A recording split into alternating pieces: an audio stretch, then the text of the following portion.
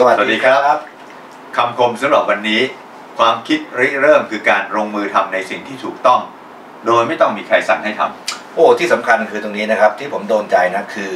โดยไม่ต้องมีใครสั่งให้ทำอ่านะครับ เรามาดูตัวอย่างกันครับ นะเดี๋ยวคุณสลันช่วยเล่นเอ่อเป็นเอ่อเป็นเล่นบทประกอบให้ทีนะครัได้บ เลยครับ ตัวอย่างนี้มาจากหนังสือเรื่อง QBQ Question Behind the Question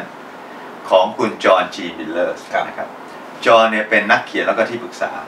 วันหนึ่งก็ไปทำงานแล้วก็ไปกินอาหารกลางวันที่ร้านอาหารแห่งหนึ่งโอเค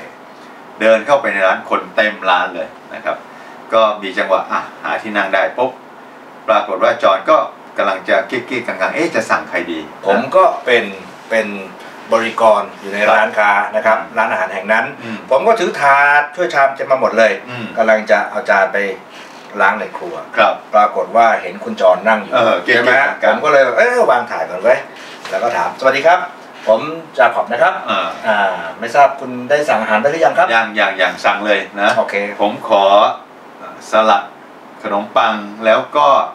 เอา Diet Coke หนึ่งกระป๋อง โอ้ Diet Coke เหรอครับ ต้องขอโทษดีครับร้านเราไม่มี Diet Coke ครับอ๋อ Diet Pepsi ได้ไหมครับ ไม่เป็นไรไม่เป็นไรน้ำเปล่าละ อ้าวโอเคครับห ลังจากนั้นผมก็ถือจานเข้าไปอาหารก็ออกมาครับ คุณจรก็ทานอาหารไปว่าไปนะฮะทานเสร็จปั๊บสักพักหนึ่งนะฮะผมก็ถือ Diet Pepsi Diet Coke อ้าว Diet Coke โอเค ใช่ใช่เอาใหม่อีกทีนะฮะ คือคุณจรอยากอยาทากนกิน Diet Coke แต่ที่ร้านมีแต่ Diet Pepsi ใช่ใช่ไหมครับ อ่า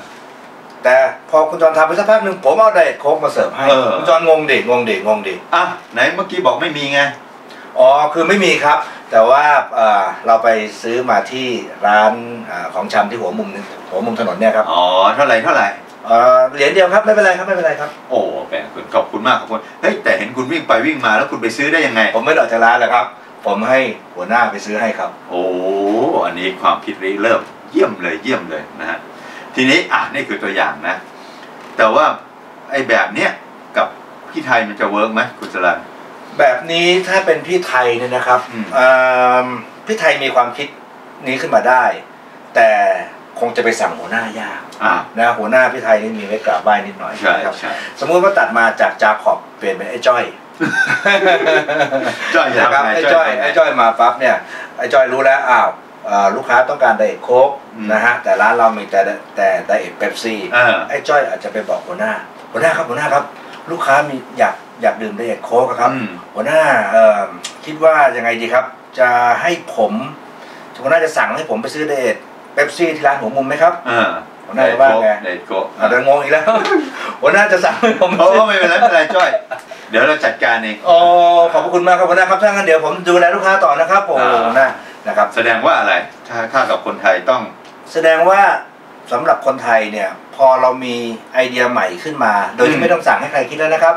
แต่เวลาเราจะทำเนี่ย เราอาจจะต้องไปหาหาทางมีกุศโลบายให้หัวหน้าเขาสั่งให้เราทำในสิ่งที่เราคิด ใช่ใช่อืมนะฉะนั้นความคิดริเริ่มก็คือการลงมือทำในสิ่งที่ถูกต้อง โดยไม่ต้องมีใครสั่งให้ทำแต่ว่าเป็นพี่จ้อยคนไทยเนี่ย ก็ให้หัวหน้ามีส่วนร่วมสักนิดหนึ่งใช้กุศโลบายสักหน่อยหนึ่ง